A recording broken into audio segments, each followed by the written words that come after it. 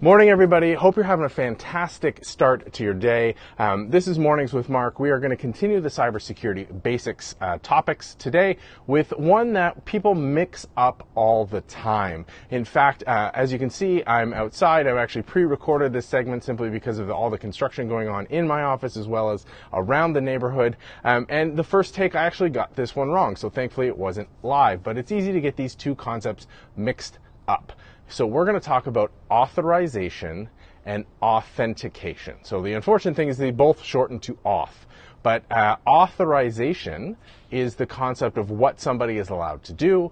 Authentication is making sure somebody is who they say they are. So let's start with authentication. So authentication is something that we all use all the time. Anytime you log in with a username and a password and hopefully multi-factor authentication, which we covered a bit in the passwords video, that's an authentication. That's verifying that I'm me. So when I log in with Mark and my super secret password that's really long, it's actually a passphrase, right? Because we listened to the Mornings with Mark uh, on passwords on the cybersecurity basics. Um, then what's going to happen is that the system is going to authenticate that I am in fact who I say I am. So it says, okay, your passphrase lines up with what I'm expecting. Your multi-factor is valid. You are in fact Mark. I have authenticated you to be Mark. I know who you are. That's the system, right? That's authentication, verifying who somebody is. Now, the next concept, authorization, is a little bit trickier. Um, authorization is now that the system knows I'm Mark, what am I allowed to do? So let's say I'm logging into my email when I log in as Mark, it says, okay, I know you're Mark. You've passed the test of having the right username and passphrase combination. You have the correct multi-factor authentication. Okay, you're Mark. Now what? Well, you're allowed to see Mark's inbox and his sent items and all of the data associated with Mark. But you can't see Fred's or Joe's or Bob's or Pauline or Francine or whomever.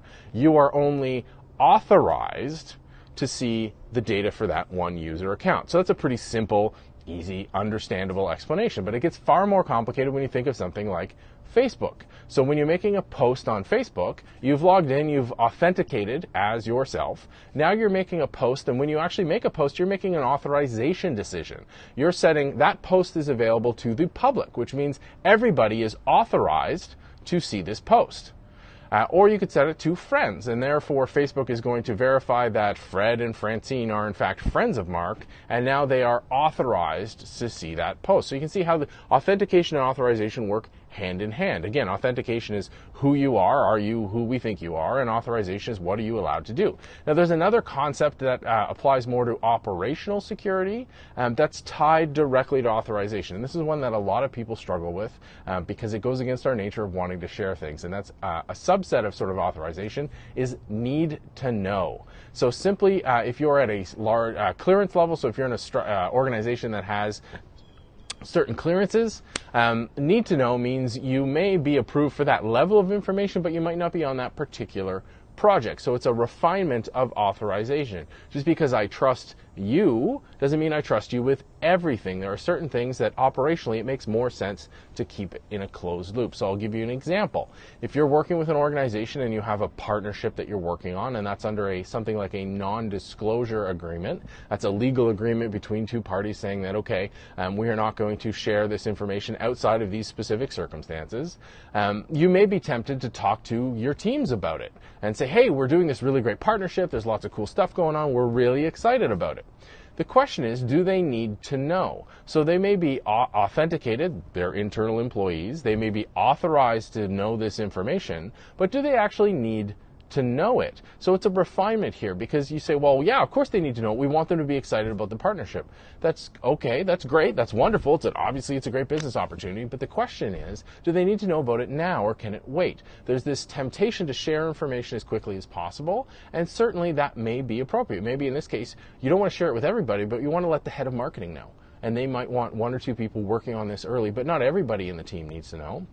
You might somebody need somebody in product to know about it to make some features in, and then there's a squad of developers that are going to be working on that functionality, and they should know. But maybe not everybody, not every engineer needs to know. And the reason why you want to consider something like need to know on top of authorization is the fact that there's a risk. If you have this partnership, maybe it's politically sensitive, maybe both companies are working towards some big announcement, you don't want that coming out early. And the more people you loop in, the more likely that is to leak out. So we've got these three concepts the authentication, who you are.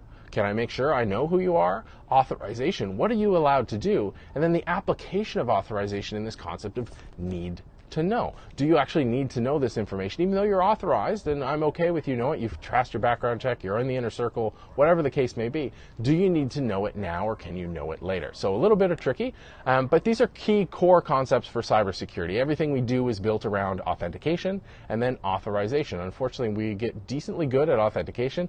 We're not great at authorization. We tend to have very um, choppy blocks of it. So Facebook's a good example. Facebook has a very granular permission system that most people never access. You can literally make a post that is only viewable by one person. Uh, very simple to do, very easy to do if you know what to look for. Most people end up defaulting to public or friends, maybe friends of friends. Um, and that's it because it's far easier to administer. And that's where um, authorization falls down, is that it can be complicated to um, uh, administer in uh, narrow, uh, sort of very fine decisions. So people take these big, broad decisions and they say, you know what, you're either inside the organization or you're out, and that's all we're going to do.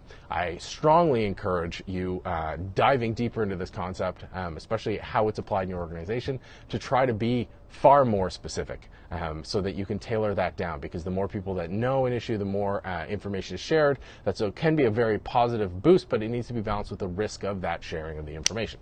So, what do you think? What do you uh, deal with? Do you understand authentication and authorization? Was this helpful? How do you apply? Need to know. Let me know online um, at MarkNCA. Um, for those of you on the vlogs, uh, in the comments down below, and as always by email, me at markn.ca. Love to hear what you're um, thinking. Uh, also, on the broader sense of this series of cybersecurity basics. What topics haven't we tackled? What should we be tackling? Let me know. I hope you are set up for a fantastic day. I will talk to you online and I'll see you on the show tomorrow.